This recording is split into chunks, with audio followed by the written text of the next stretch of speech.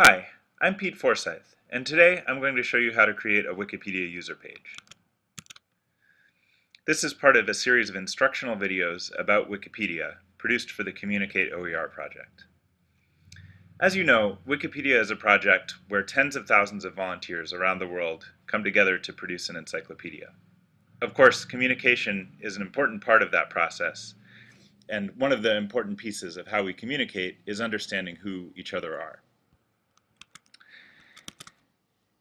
Every Wikipedia page has a talk page associated with it. As you can see in the upper left corner, there's a talk button on nearly every Wikipedia page. If we click that, we're going to see that there's some discussion. Each section is a different topic, and you see people talking back and forth. In this case, everyone involved in the discussions has a user page, and we can tell because the, uh, the links to their names are blue. Uh, most links will be either blue or red. If they're red, that's going to indicate that there is no user page. So let's go to a different page where we can see an example of this. This is the team page for the Communicate OER project, and lots of people have come here to introduce themselves. You see many blue links, and then you see a few red links as we go further down. The blue links all indicate that people have a user page, and I'm going to just click on a few of them so that we can get an idea of how people present themselves. Here's one where someone gives a pretty straightforward introduction, writes several paragraphs about his work.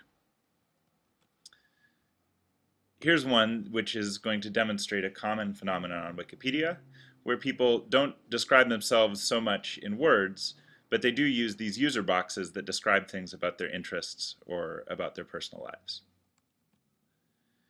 And here's another example of a more elaborate user page that contains both text and images.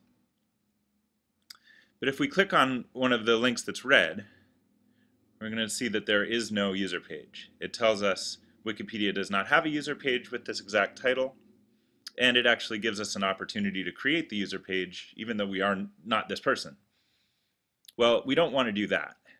But if you have created a, user, a Wikipedia user account and you haven't yet made a user page, you'll see that your own username at the top of the screen is red. Mine here is blue, but that's because I've already created a page. I'm going to click it, and if you had not created a page, you would see a big blank screen like this. So for the purposes of getting started on Wikipedia, you don't need to do anything fancy, but it is a good idea to tell uh, to put a little bit of information here to let other Wikipedians know who you are and what you're doing on Wikipedia. I would suggest that you use just two or three sentences. Give your name if you like, or just your username if you prefer to remain anonymous. Just type something in plain text into the edit window. Um, you might want to say where you work, what your interests are on Wikipedia, what article you want to work on, or you might just say that you're taking uh, the School of Open uh, Writing Wikipedia Articles class. It's really up to you. You can share as much or as little as you like, but it's a good idea to share something. You would type that into this page and then scroll down. I always recommend using an edit summary. In this case, you might just say something simple like create user page, and then you would click Save Page. That's all you have to do, and now you have a Wikipedia user page, and you can get to the more fun parts of editing Wikipedia.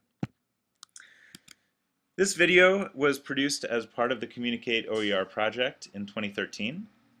Communicate OER is a project to foster collaboration in improving Wikipedia articles about openness in education. For more instructional vi videos about Wikipedia, visit our project's home.